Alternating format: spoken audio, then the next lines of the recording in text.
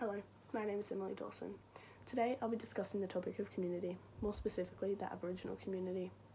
I'll be using Archie Roach's song Took the Children Away to represent the lack of community during this period of time. Community plays a large role in Aboriginal people's lives. They all know, know one another and all get along and engage together.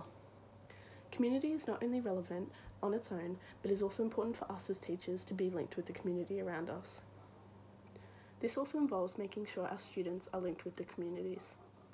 Harrison and Sellwood state that this has many benef beneficial features for the students. They then elaborate to say that this can, have this can be beneficial because it will help to break down barriers. In an Aboriginal community, these barriers have been broken and this allows them all to communicate effectively. This communication level was heavily affected in the time of the stolen generation. It is important to remember that this is not just a past occurrence, this behaviour is still occurring in today's society. When families are faced with struggle times like this, it does not only affect the community they are in, but will also affect the child in their new white life. They may struggle with aspects such as intergenerational trauma and domestic violence. This will also affect us as teachers in our community because we may be faced with some children in our classrooms who are or have been affected by this. When children are taken away from their homes, it not only changes their life forever, but will also affect their parents' lives. The community will no longer be the same because there is a large amount of people missing. Instead of being a community with people of all different ages, it is now built up of a small group of adults missing their children or even siblings. To put the amount of numbers, there was 9,000 children recorded in New South Wales alone who identified as being part of the stolen generation. Just let that number sink in. 9,000 children that had to start a completely different life at a young age with completely different people in their community. A song that dis discusses the stolen generation in depth is Took the Children Away by Archie Roach. He uses strong lyrics to get the message across of what actually occurred during this time.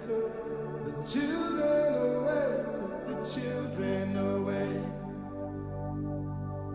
the children away.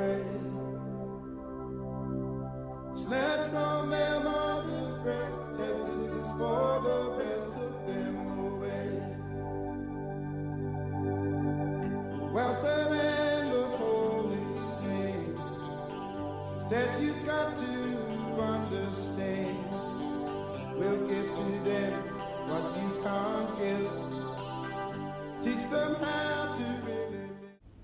The same lyrics are repeated which helps maintain the general message to stay prominent during the course of the song.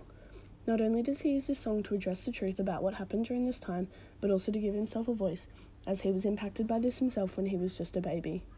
He uses powerful lines to grab the attention of the audience and to give them a wake up call to what the truth is behind the stolen generation. We'll give them what you can't give. This implies Aboriginal people were not capable of looking after and providing for their own children. When a child is taken from their family, this causes the family to break and be very emotional. Once this has happened, to multiple families in the one community, the whole community will be in a slump.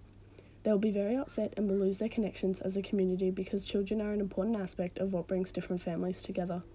Without everyone being in contact with their children, the community is broken and does not feel the same to everyone, causing everyone to be very introverted and upset until they know how their child or children are doing.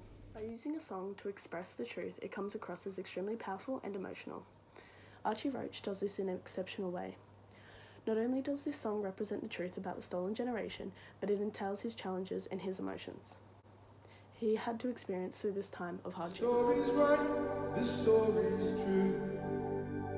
I would not tell lies to you, like the promise said they did not keep.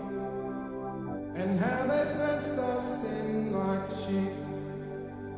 Said to us, come take care of him set us up on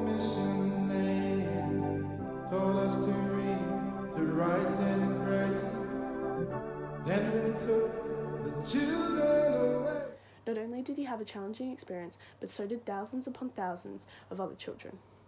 Communities were broken, families were ripped apart, and children are left with mental scars from these times. As a teacher, are you going to cover the truth with a blanket or keep it transparent with your students?